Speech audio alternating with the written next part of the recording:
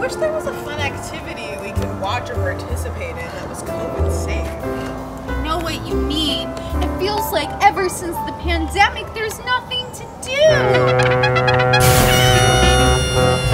Did you hear that? Oh, I didn't know we had other best friends. We're the producers and hosts of a bi monthly comedy show called The Goat Show, It stands for the greatest of all time. which everyone in our cast is. It'll just be easier if we show you. Our next show is Saturday, February 12th at 8 p.m. It's a trap, trap, trap, trap, circus. Go to GoatShowLA.com and click tickets. Tickets are a $10 suggested donation to help us keep the lights on. And don't forget to bring your proof of vax and wear your mask when you're not eating or drinking. We're always looking for talent and help backstage. So if you're interested, click join the Goat Show team.